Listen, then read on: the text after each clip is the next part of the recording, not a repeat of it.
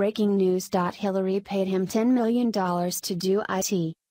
It's now being reported that a new batch of emails are showing that the State Department gave special and preferential access to top Clinton Foundation donors while Hillary Clinton was Secretary of State Barack Hussein Obama was president.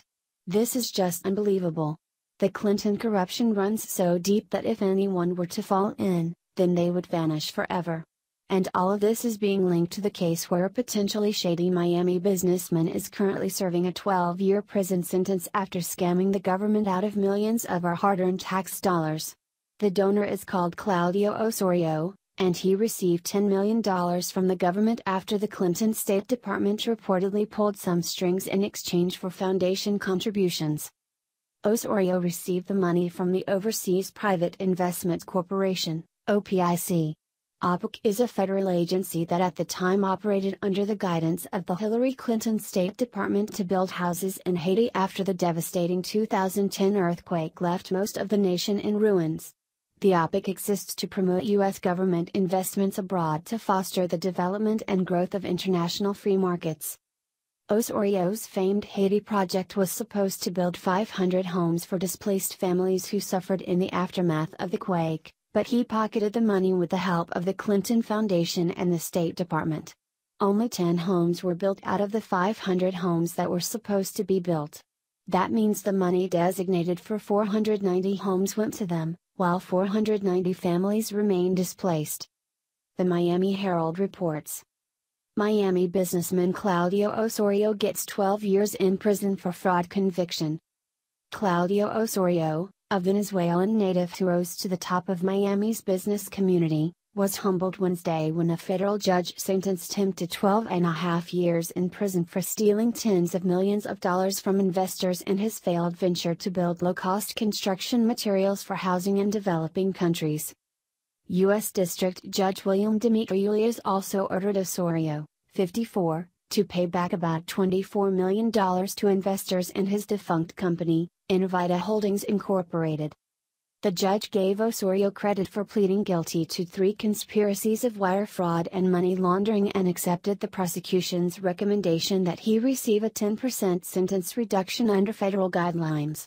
But Dimitrouleas still imposed a sentence that nearly equaled the low end of those guidelines, saying Osorio committed extensive fraud. Osorio, who once lived on Star Island before his arrest last December, apologized to his family, Innovida employees and investors. I betrayed all the faith and belief they deposited in me, Osorio told the judge. I failed them.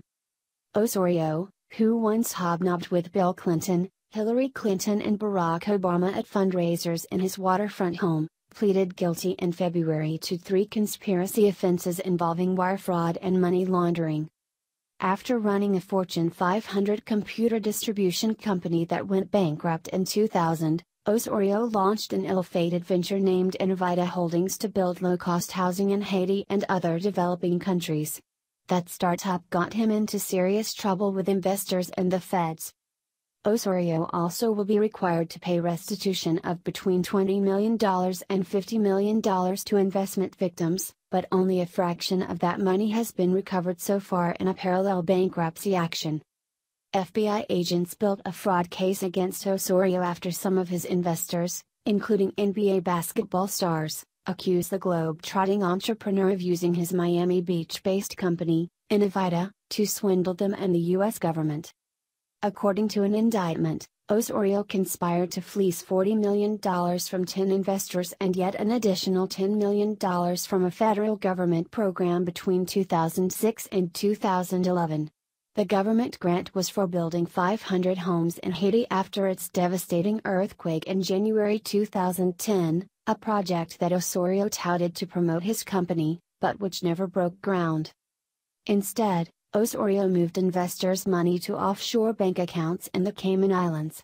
The bankruptcy trustee of his failed company, attorney Mark Meland, said he could not recover any money there because it was either spent on Osorio's extravagant lifestyle or squandered.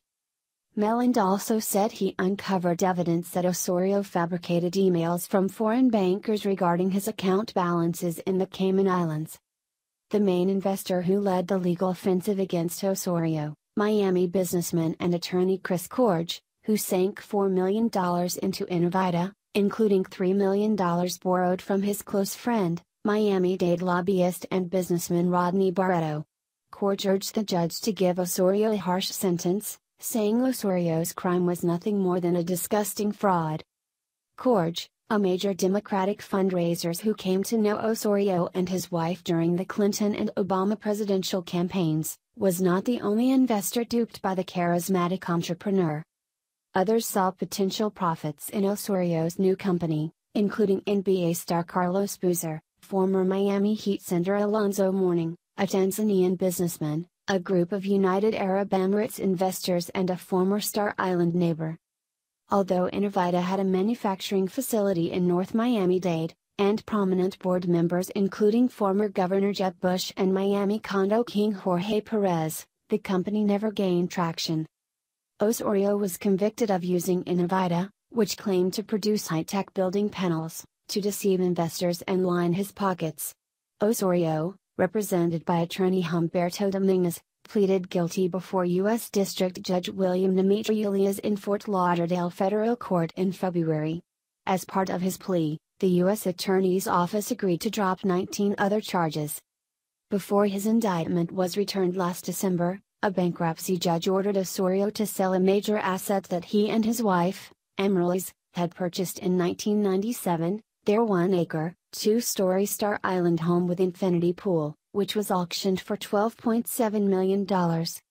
Most of the sale proceeds from the heavily mortgaged property went to banks and other lenders. Osorio's Innovida investors received $3.4 million of the balance, according to bankruptcy court records. Osorio and his wife were allowed to keep about $1.6 million.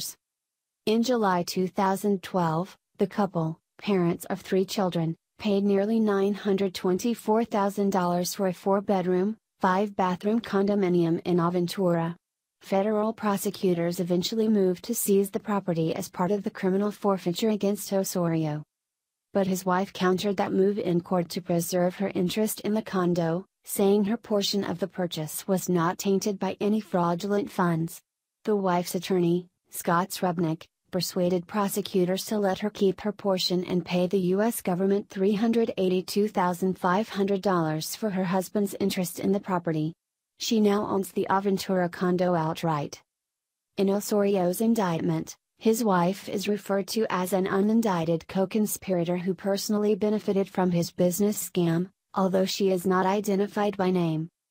Assistant U.S. Attorney Lois Foster Steers decided not to prosecute Amaryllis Osorio under an agreement that her husband plead guilty to criminal wrongdoing, according to court records. How long will the Clintons, Obama, and their secret crew get away with the deceitful shenanigans? The media is busy trying to pin a fake Russian collusion charge on President Donald Trump, but they are afraid to pay attention to something much darker and deeper. Is the mainstream media afraid of Hillary Clinton? Clinton,